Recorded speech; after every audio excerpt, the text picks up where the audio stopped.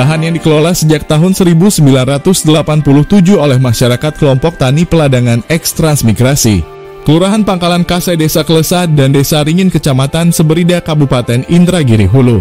Yang ditanami palawija oleh masyarakat kelompok tani peladangan kini sudah tidak bisa dikelola kembali oleh masyarakat kelompok tani peladangan eks transmigrasi, yang kini berganti perkebunan sawit.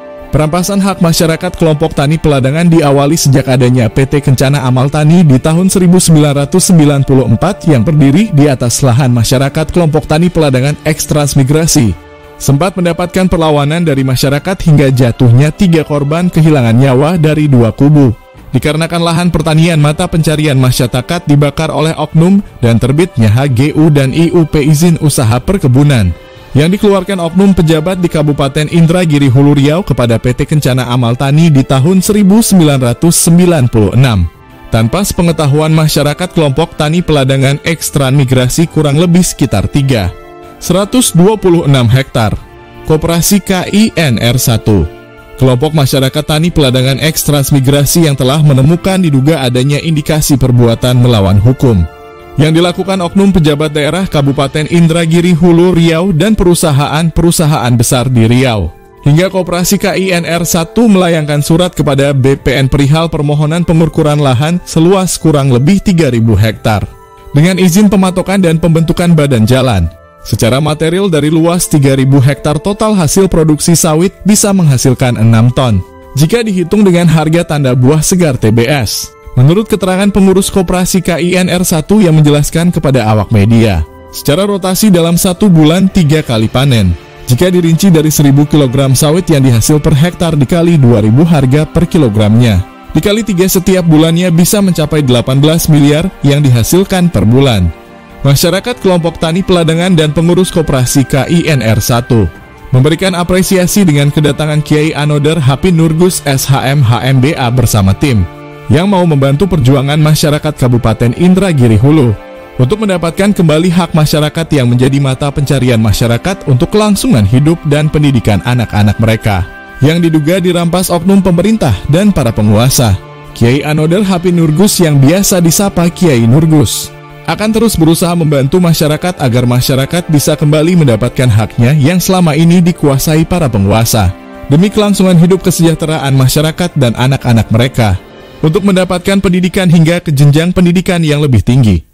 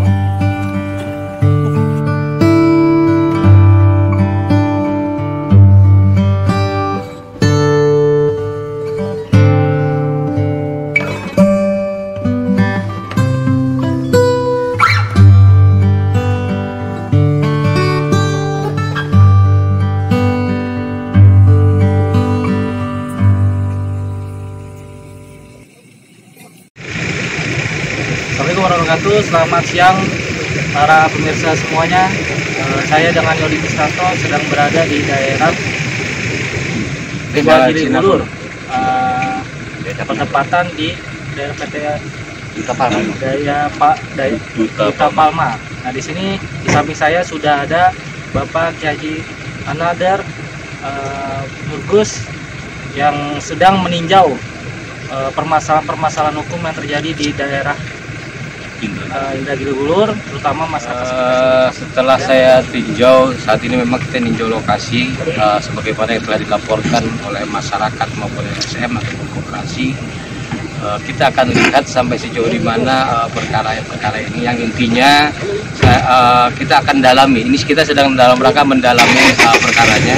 Yang mudah-mudahan apa yang dikeluhkan oleh masyarakat uh, Indragiri Hulu khususnya umumnya uh, Provinsi Riau ini akan ada solusi-solusi yang baik yang bisa kita perjuangkan untuk masyarakat karena memang kita punya keyakinan negara dalam artian pemerintah uh, membangun uh, negaranya adalah untuk kepentingan bangsa, untuk kepentingan rakyat. Jadi jangan sampai seperti uh, apa yang terjadi saat ini masih banyak masyarakat yang belum bisa menikmati uh, uh, ke apa namanya kemerdekaan yang ada di wilayah sendiri. Contohnya uh, tadi saya mendengar seperti jalan saja tidak boleh dilewati oleh perusahaan. Ini kan tidak bisa, ini nggak boleh, nggak boleh terjadi kan begitu. Dan setelah saya yakin masyarakat menduduki uh, wilayah, katakanlah bertani dalam hal ini melakukan apa penanaman kelapa sawit dan lain sebagainya dalam bentuk koperasi, tentunya mereka juga punya dasar, punya alasan hukum, punya alas hukum. Dan ini yang akan kita pelajari dan ini akan saya diskusikan uh, di tingkat uh, pemerintahan baik daerah, wilayah maupun pusat. Insya Allah mudah-mudahan ini akan ada hasil sebagaimana yang dilaporkan oleh masyarakat masyarakat dapat menikmati. Uh, karena memang kita sendiri bukan hanya di sini. Uh, kemarin saya berkunjung ke wilayah Kabupaten Siak. Di sana problem-problemnya hampir sama dengan Indragiri Hulu. Uh, problemnya adalah terjadinya penyerombotan-penyerombotan tanah yang dilakukan oleh perusahaan-perusahaan ataupun oknum-oknum perusahaan gitu kan yang menguasai, menguasai mengklaim tanah-tanah nenek moyang daripada pribumi yang akhirnya mereka sekarang hanya jadi penonton. Hanya jadi penonton karena ulah dari sebuah perusahaan. Nah ini akan kami tindak lanjuti dan ini akan kami bawa perkara ini gitu kan, sampai dengan betul-betul masyarakat dapat menikmati uh, apa yang mereka perjuangkan saat ini. Ya. terima kasih Pak. Uh, ini diterima dengan baik dan dijalankan. Jadi saya sangat bersyukur sebagai saya ketua koperasi KIN, saya sangat bersyukur karena pelaporan saya telah diindahkan langsung turun ke lapangan menyaksikan jerih payah kami. Kalau tidak kami masyarakat, kami bikin pondok malam di Busur sama aparat setempat. Jadi ya Alhamdulillah saya mohon kepada Bapak Nurgus dan Bapak Jenderal bebaskanlah hak rakyat, hak kami tanah-tanah kami, air-air kami, anak kami yang mencuri, anak perusahaan masuk ke polisian untuk nangkap anak kami. Di mana kemerdekaan, kemerdekaan kami? Jadi saya rasa cukup sekian, cukup jelas omongan saya. Ya baik pemirsa, terima kasih. Uh, semoga harapan-harapan dari masyarakat sekitar bisa kita perjuangkan, bisa kita kemerdekakan dan semoga ke depannya buat anak cucu kita uh, para masyarakat sekitar bisa dinikmati uh, layaknya sebagai uh, negara uh, warga negara kesatuan Republik Indonesia. Oke, sekian dari saya. Terima kasih. Wassalamualaikum warahmatullahi wabarakatuh.